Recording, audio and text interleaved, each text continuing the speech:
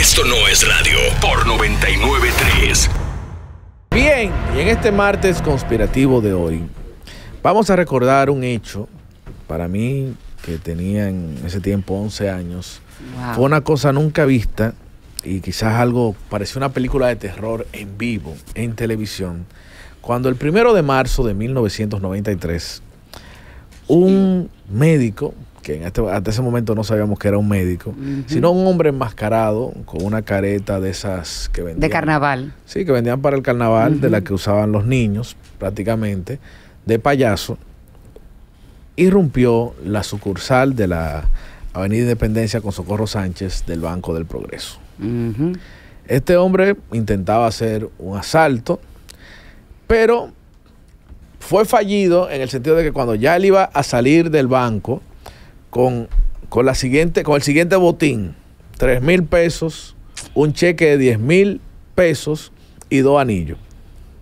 Ay, Dios Pero época era. Pero claro, en 1993, Sí, era, Por era- favor, sí, pero estamos como, pero hablando. como quiera, Sí, como pero como quiera. Un banco, coge esa vuelta por un banco. Estás robando una casa. Sí, pero ¿Me estamos hablando de hace casi 30 años, señores. Y decir que la careta, por ejemplo, eh, Ariel, supuestamente, él le dice a su hija, eh, ven acá, y esa careta, y él se la lleva. Y la niña, cuando está viendo lo que está pasando en televisión, en, en televisión nacional, dice, pero ese papi, esa es la careta. mía. esa es la careta que yo tenía.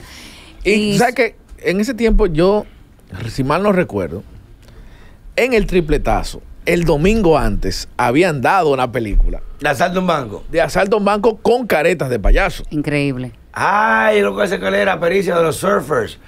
Muy dura, Algo sí. muy importante que dijo Ariel, en principio no Freca. se sabía Que el un señor doctor. era un doctor, un cirujano. Así es. El señor Oye, cirujano Cristóbal- meterse a buscar que 3 mil pesos. Cristóbal Payano en 1993. Según decían, él llevaba una vida muy bohemia. Sí, supuestamente él estaba, había una chica que lo tenía Y teni- loco. Siempre una mujer atrás. Incluso Siempre la mujer amante estaba fuera del Estaba banco. fuera del banco. Desde frente Adán y Eva la sí, mujer empezó. Eh, siempre la mujer. No, mi amor, y amor, ustedes se cómete dejaron la manzana. Y cómete ustedes se manzana. dejaron El llevar. pecado entró a la humanidad por la Diablo, mujer. sí. Siempre una mujer y atrás. ustedes recibieron el pecado porque le dio la cero, Con gana. los brazos abiertos. Ernesto, mira, de Con los brazos abiertos nos cogemos el pecado. Dámelo, el amor. pecado. Tú llegaste de Colombia, vamos a dejarlo así, está bien, te lo mereces. Bien, no, no cambiemos el tema. Por favor, Ariel, mira, lo que dices es un suceso terrible que consternó toda una nación, porque además ver aquello, o sea, ni una serie de Netflix lo que estaba pasando, pero además ver como la comunicación antes, lo que significaba el heroísmo. Los influencers de antes. Exacto,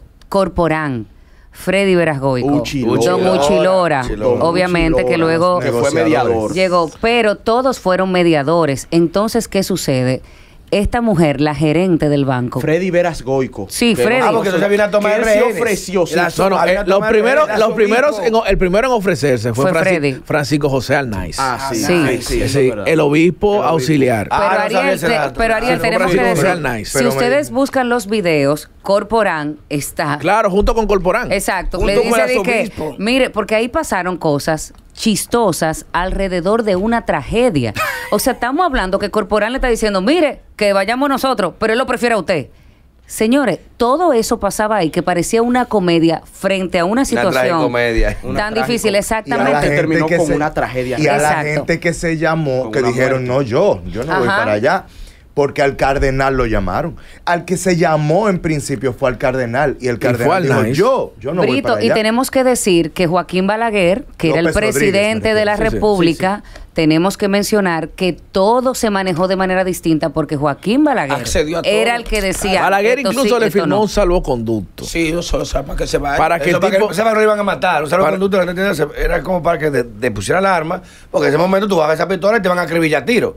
Un salvoconducto, entrégate mío que no te va a pasar nada. Exacto. Sí. Ven, está firmado por el presidente. Era para garantizarle Ven. la vida. Ningún Y- policía se va a atrever a tocar. Y pasó un evento que nunca ha pasado, creo que después de ahí, en la televisión nacional, donde Freddy Veras Goico, En en vivo. punto final, en vivo, habla con la rehén. Con la gerente. Ah, que está con de rehén en el banco. Pero esa mujer Y el tiene- tipo, ella está hablando con él, y el tipo comienza a torturarla Ajá. A con un cuchillo en la No espalda. era un cuchillo, amor, era lo que usaban los... Un bisturí. los- un bisturí. Un bisturí. Exacto, por atrás. Ella le decía, Imagínate. señor, no, por favor, ay, me está cortando. O sea, escuchar a aquella mujer tan estoica. La de movie, sí. Es una cosa impresionante porque él empezó a cortarle la espalda. Vamos a hablar entonces de las teorías conspirativas respecto a esto que ocurrió. Primero, hay quienes dicen que él estaba fuera de sí, estaba fuera de sus cabales, porque eh, una persona podía desesperarse al punto de llegar a un banco y tratar de asaltarlo,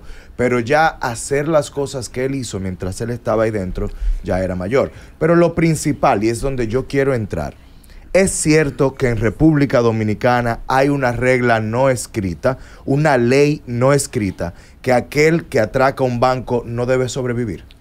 Pero que eso se sabe, hermano. Pero mira lo.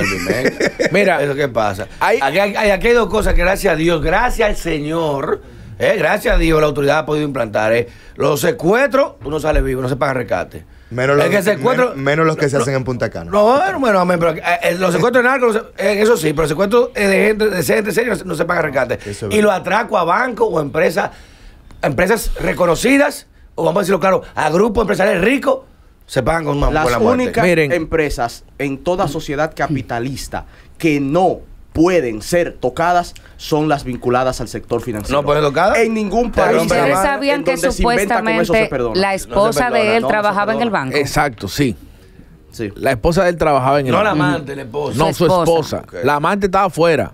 Ah, por O la sea amante que- guapa. Fuera de la sucursal, sí. O sea que no cuarto Porque el tipo, te- No, el es tipo que la tenía problemas de dinero. El Ajá. tema, el, El tema tipo tenía unas deudas y una vaina. no, no dos Y el mujeres no tema- lo aguanta nadie. Y el tema era que, señores, la el tema era también que él eh, afuera estaba la amante porque se llamó a todo el mundo para tratar de negociar.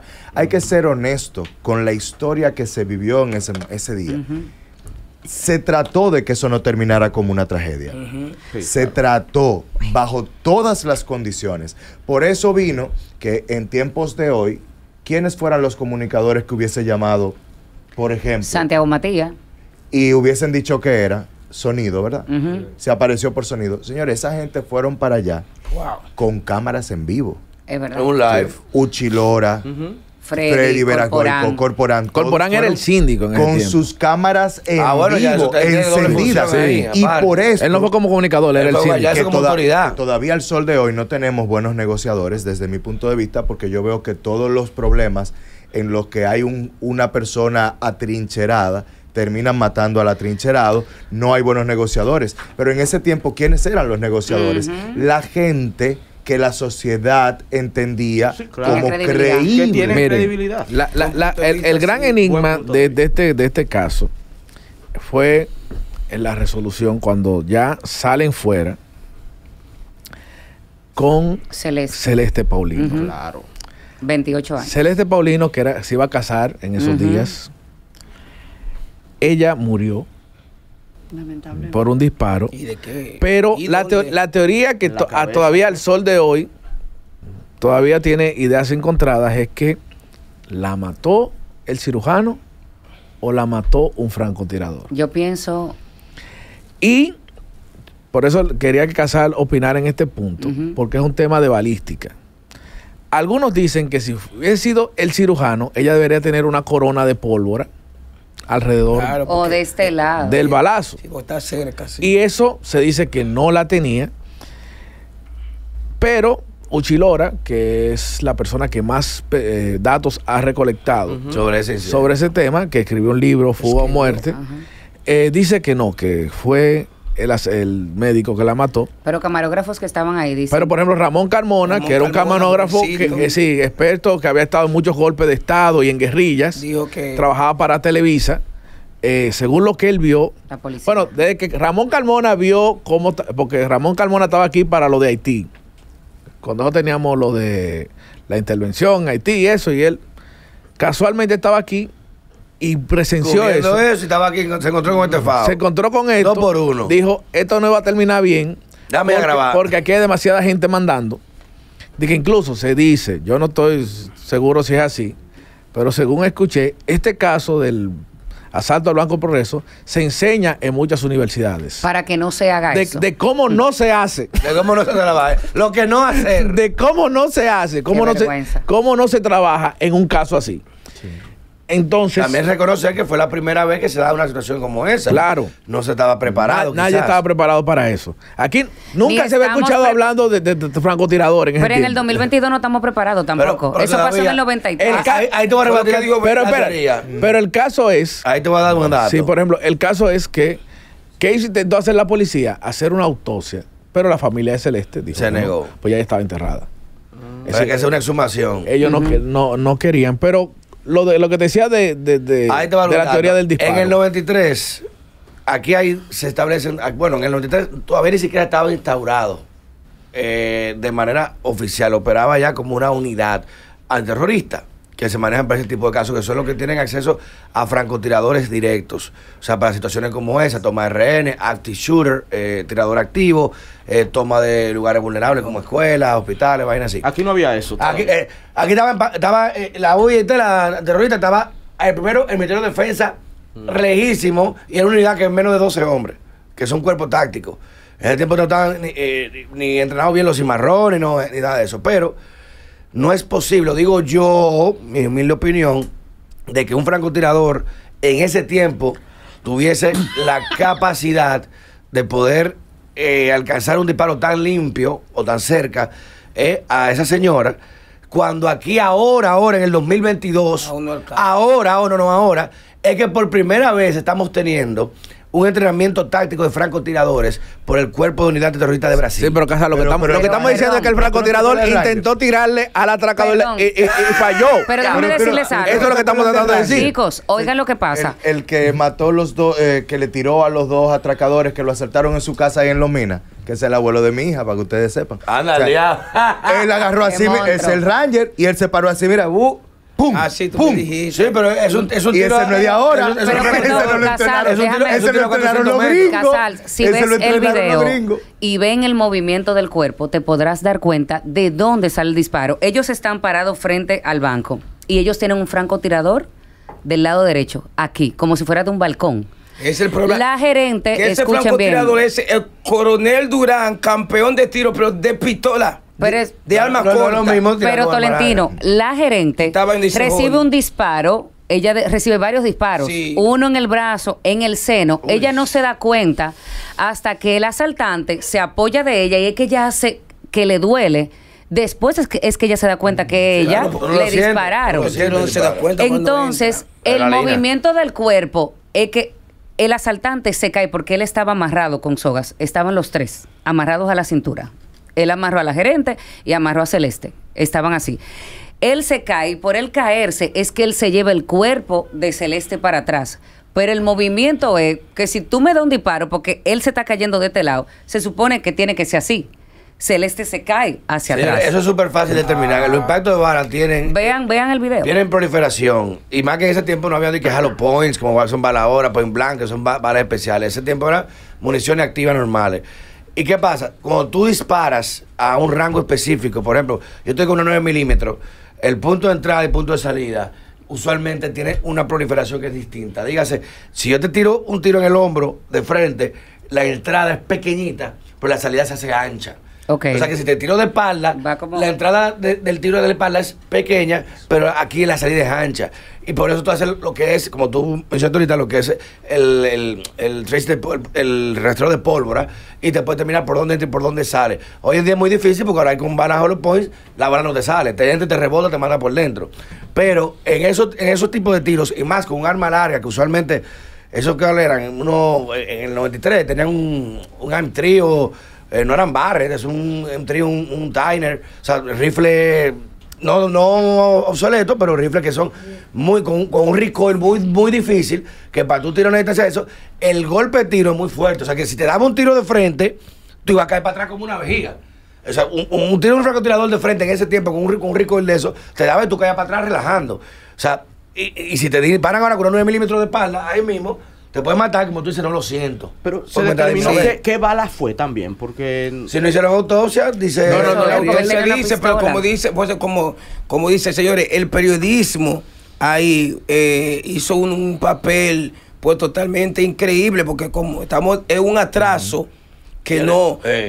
que, que nunca se pe- nunca se perdió la señal O sea que el es televisor otra. era de el tubo. live, la cámara, señores, en ese tiempo. En ese tiempo. El doctor, el hermano de Freddy Veragoy, con el doctor Máximo. Máximo, le dijo a Freddy porque Freddy quería meter cosas, pero el periodismo, señores, hizo un papel sumamente, Freddy, y hay que sumamente decirlo, Tolentino, importante. Freddy se ofreció a intercambiarse El él Máximo sido que le dice que no diferente. lo haga. por los El destino hubiese sí. sido diferente si. Freddy hubiese entrado Claro, ahí. porque Freddy sabía por Pero- qué quería entrar. No, pero Freddy sabía. podía desarmarlo al tipo. A eso Sí, voy. peleaban ahí mismo, Sí. van a trompar ahí mismo. No, no, que Freddy eso. tenía entrenamiento militar pero, también. que, solamente pero que eso. podía ser un más trágico. Que Sí, también Freddy sabía perfectamente que él era en ese momento la persona con más credibilidad que tenía el país. El influencer más, más grande. de ese Entonces, país. resulta, Eso sí. resulta que eh, como lo está explicando Casals y tenemos que llegar al punto de las teorías respecto a quién le disparó a ella, qué bala la mató. Porque eh, sí, puede dejarte un halo de, de pólvora, De una quemadura, si es a quemarropa, pero es a quemarropa, a quemarropa pegada la- el arma Sí. del cuerpo. Si no está pegada el, arma- el arma al cuerpo, lo que te puede quedar es resto de pólvora alrededor. Pero sí, como dice Casals, la entrada pequeñita, la salida grande, dependiendo también del tipo de arma. Ahora, hasta en los tiempos del viejo oeste, tú tenías personas que con una bala muy poco precisa te volaban un sombrero. Lo que aparece en las películas no es mentira. Gente con balas, con, con pistolas muy imprecisas que tenían una puntería que parecía que, que eso no era, era casi. Wyatt Earp, papá. Sí. Eh, la mano más rápida. Claro. Entonces, ¿qué pasa? En ese tiempo sí también considero que con las armas que habían, habían personas que tenían una excelente puntería. Pero al todo esto, la teoría es una u otra. La mató la bala de un francotirador por error que intentaba darle al asaltante exacto. o la mató la bala de un francotirador que la quería matar a ella. ¿Fue accidental o no fue Claro, accidental? porque ahí es donde está la es teoría. está. porque se sí. habla de Es una verdad. posible relación o de una posible relación que no llegó entre esas dos personas. Se habla de que se aprovechó el incidente Claro. para despachar. Y además, chicos, si ya él se iba, digo yo como dice Oni, si ya él se iba con los rehenes para el vehículo, hubiese sido una tontería que él matara. Lo que pasa es que se entraron. Porque ya Ay, se primero iba. tenemos que ver cuántas personas estaban armadas Sí. Sí. fuera del banco. Eran más de cinco. Y te digo algo importante ahorita, mucha gente mandando. Sí. Este manda Ay, aquí. no. eh, tírale tú. Eso es grave, Eh, en grave, esa vaina, grave, grave. Cuando no hay coordinación, por eso en el, en el ejercicio militar. No había protocolo, hay Pedro, ¿verdad? Jerarquía. Por eso la jerarquía es tan importante, la subordinación es tan importante. ¿Para qué? Para que se actúa como un cuerpo. Cuando la cabeza dice, el brazo a la derecha, el brazo puede decir, no, yo voy para la izquierda, yo voy para el lado. Y Eso, ese puso de coordinación que tú no sabes, te mandaste tú mismo. En Friendly Fire. O sea que tanta gente mandando. Un loco de su capitán, tírale ahora tú, sin preguntarle al general. El otro, no, no le tire. Eh, se dan situaciones que se han dado de- después de eso, se han dado después de eso, recuerden el, el secuestro de este muchacho que en San Francisco de Macorís, que a, a uno de los asaltantes, un, un coronel lo mandó a disparar, el general dijo que no, lo mataron, después el otro. Hay cosas que se dan así, Ahora- pero donde hay tantos capitanes y no hay marineros, hay problemas. Ese, ese acontecimiento, Ariel, creo que junto a Llenas Aibar, Sí. también ya lo analizamos. Marcaron el país. Marcaron la sociedad. Sí, y claro. la transformaron. A partir de ahí, y por eso lo decía cuando Pedro hablaba, no podíamos tener protocolos, nunca había sucedido. A partir de ahí se cambian. Sí. Y si lo unimos con lo de Llenas Aibar, se puede decir que del 93 al 98, la sociedad dominicana, a partir de ahí, es otra. O sea, algo como esto en ese momento era inconcebible. Sí, no igualito que con, que con Aibar, lamentablemente. Totalmente. Dos tragedias que marcaron al país y lo cambiaron. Ahora, vuelvo al tema de la conspiración. ¿Por qué el elemento sentimental? Cuando se habla de una tragedia en donde un hombre y una mujer participa, casi siempre está. Porque, mira. Celeste era una chica, 28 años, se iba a casar. Sí, muy, muy bonita. Sí, exacto. Una chica muy atractiva que tenía ya cuatro años, más de cuatro años trabajando con esa gerente, o sea, que estaba educada por esa gerente del banco para poder sobrellevar cualquier tipo de temas dentro del banco. No dudo que alguien haya querido estar con ella.